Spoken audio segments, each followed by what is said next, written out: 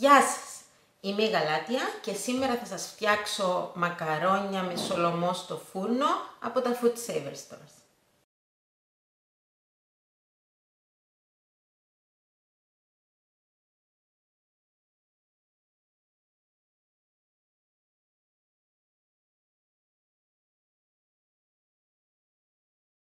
Πάμε να δούμε τι καλά πράγματα έχω παραλάβει από τα Food Saver Stores.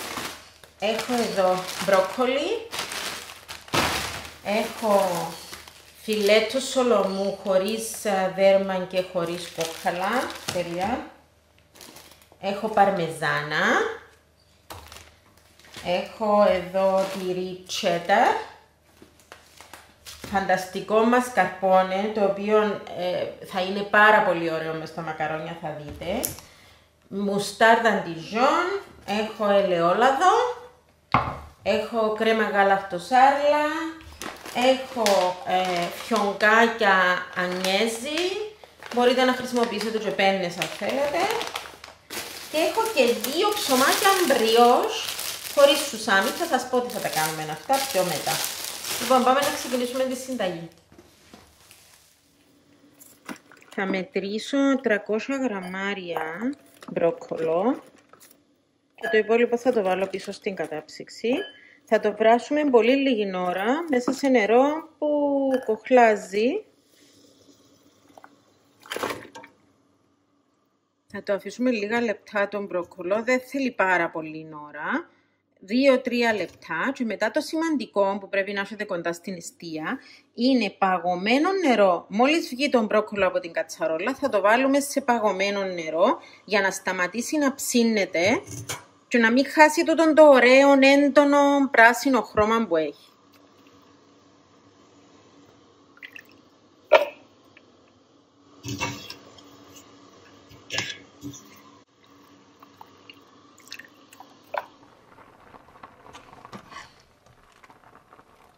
Θα στραγγίσω τα μακαρόνια μου, αλλά θα φυλάξω το ζουμί γιατί θα χρησιμοποιήσω έναν τέταρτο περίπου φλιτζάρι από το ζουμί που βράσαμε τα μακαρόνια για να φτιάξω τα... τη πάστα μου. Θα αρχίσω σιγά σιγά να συναρμολογώ τα μακαρόνια μου. Σας είπα πριν ότι θα σας πω μετά τι θα κάνουμε με τα ψωμάκια μπριός. Τούτα τα ψωμάκια είναι η πιο ωραία επικάλυψη. Θα αλέσω ένα ψωμάκι σε ένα μικρό μπλεντεράκι, θα κάνω ψίχουλα, θα τα ανακατέψω με γευστική μπαρμεζάνα και θα τα βάλουμε, λίγο ελαιόλαδο βέβαια, και θα τα βάλουμε πάνω από τα μακαρόνια μας και θα κάνουμε μια τέλεια, τέλεια, φανταστική κρούστα. Λοιπόν, πάω να λέσω και επανέρχομαι. Θα να αρχίσουμε να συναρμολογούμε το πιάτο μας. Εδώ έχω δύο πάρα πολύ ωραία φιλέτα από το σολομό μου. Το ωραίο με τούτο το σολομό είναι ότι μπορείς να, μπορείτε να ξεπαγώσετε δύο σακουλάκια μόνο, γιατί είναι το κάθε φιλέτο είναι τυλιγμένο σε δικό του σακουλάκι. Εμείς θα χρειαστούμε δύο φιλέτια για τον τη συνταγή. Αν προσέξετε, τα κόβω αρκετά μεγάλα κομμάτια. Δεν τα θέλετε έτσι λιλιπούτια. Να τρώμε σολομό και να καταλαβαίνουμε ότι τρώμε σολομό. Ναι. Λοιπόν, κόβω τα έτσι.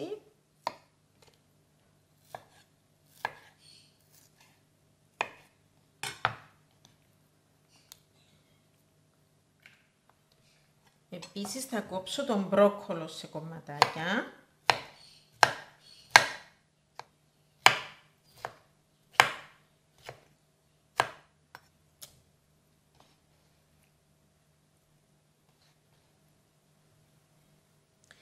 Έχω το μασκαρπόνε μου, είναι φανταστικό το μασκαρπόνε μαζί με τα μακαρόνια, εγώ το λατρεύω, μέσα σε ένα μπολ.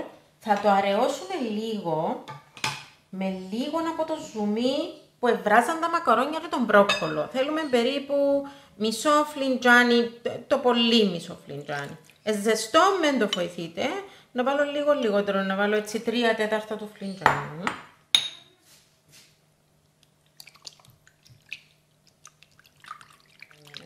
Λοιπόν, το μασκαρπόνε μου. Βασικά ήθελα το έτσι να ρεώσει λίγο. Θα βάλω την κρέμα γάλακτος. Τούτη είναι μια μέθοδος που δεν χρειάζεται να κάνετε μπεσαμέλ αν θέλετε έτσι μια νυφή mac and cheese στα μακαρόνια σας.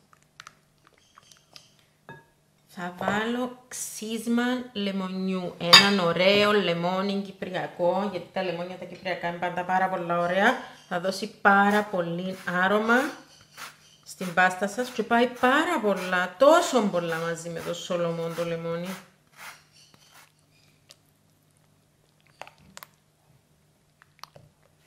Και φυσικά πιπεράκι. Μην τσιγκουνεύεστε το πιπέρι. Είναι πολλά ωραίο. Λίγο αλάτι. Θα βάλω επίσης δύο κουταλιές μουστάρδα αντιζών γιατί δίνει πάρα πολύ ωραίο αρώμα η μουστάρδα. Δύο κουταλάκια. Ένα, Και φυσικά το τυρί cheddar. Θα διαλέξετε όριμο cheddar τυρί, mature cheddar, γιατί έχει την περισσότερη γεύση. Είναι πάρα πολύ ευγεστό τυρί.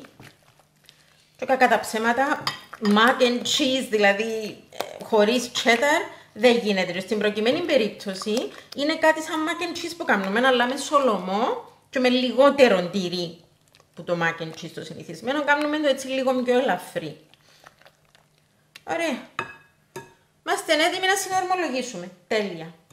Θα κάνω πρώτα τη διαδικασία σε ένα μεγάλο μπολ. Εμένα μου αρέσει να αναμειγνύω όλα μου τα υλικά σε ένα μεγάλο μπολ και μετά να τα βάλω στο ταψί μου. Τούτα είναι τα μακαρόνια μου, όπως σας είπα πριν, ευράσαμε τα 10 λεπτά και θα βάλω τούτον το υπέροχο θαυμάσιο μείγμα με το μασκαρπόνε και το τσέταρ και θα ανακατέψω.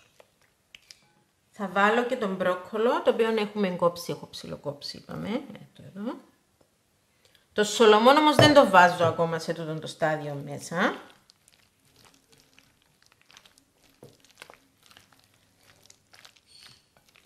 Ωραία. Να το, τελειώσαμε. Τώρα θα το μεταφέρω στο ταψί μου και θα βάλω το σολομό μετά. Στο το στάδιο είναι να κλέψω και ένα για να το δοκιμάσω. Τέλειο. Τέλειο. Λοιπόν, έχω εδώ ένα ταψί για... Ε, το ταψί μου που ψήνω λαζάνια για να είμαι ειλικρινής. Είναι ένα ταψί βαθύ. Αν έχετε ένα πιο ξεβαθό πάλι, δεν πειράζει. Και θα μεταφέρω το τον το μείγμα μέσα στο ταψί μου.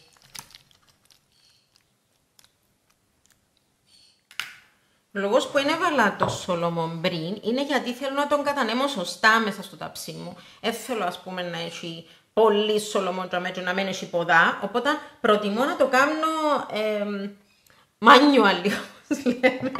Πρώτα όμως θα βάλω λίγο πιπέρι πάνω στο σολομό μου και λίγο αλάτι.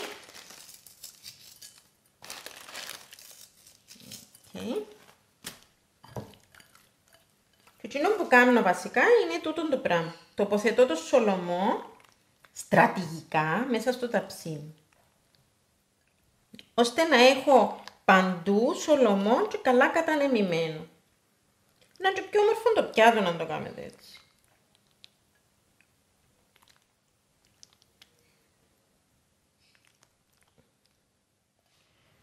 Έχω προθερμάνει το φούρνο μου στους 200 βαθμούς αέρα.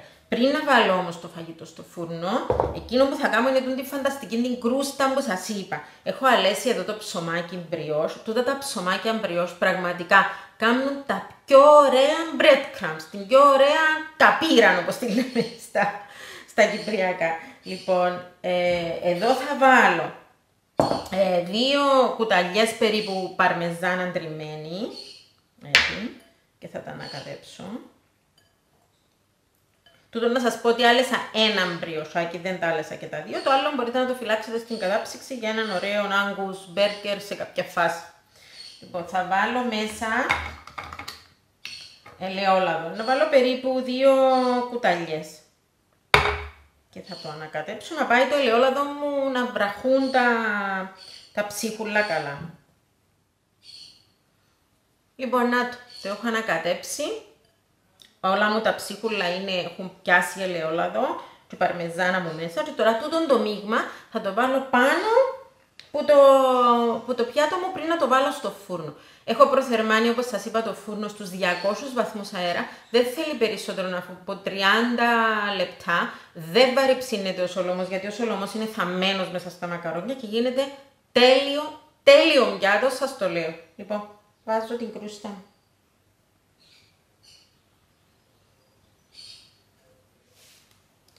Έτοιμο το πιάτο μου. Πάω στο φούρνο. Να το φαγητό μου, είναι τέλειο, φανταστικό. Και κοιτάξτε την κρούστα πάνω που έκαμε έτσι το τραγανή, είναι επικάλυψη. Φανταστικό σας το λέω. Είναι τόσο ωραίο που πραγματικά εγώ θέλω να πιάσω τώρα έτσι ένα κομματούδι μου από πάνω. Τούτο να πούμε, και να το τσιμπήσω. Λοιπόν, εγώ θα σας αποχαιρετήσω για να απολαύσω τούτη την πολλά ωραία μακαρονάδα. Φτιάξτε την, είναι φανταστική, φανταστική σας λέω, ειδικά σας αρέσει ο Σολομός, είναι τέλεια και πρέπει να σας πω ότι ταΐζει πολύ κόσμο το συγκεκριμένο φαγητό. Λοιπόν, καλή συνέχεια σε ό,τι κάνετε, να είστε καλά. Γεια χαρά!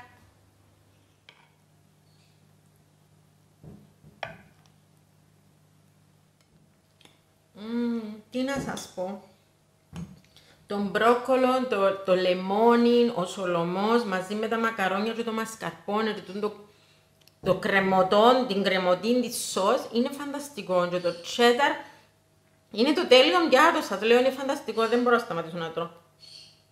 Mm. Γεια σας!